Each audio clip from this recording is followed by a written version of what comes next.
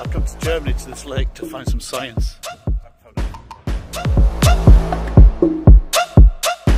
Haselünne to visit this world famous lens. Well, it's not world famous, it's just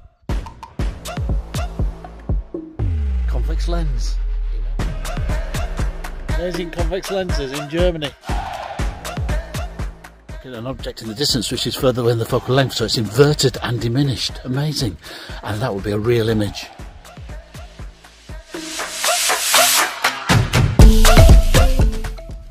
Whereas here, because I'm within the focal length, it's actually working to magnify. It's virtual image, it's magnified, and it's upright. Lenses in the wild.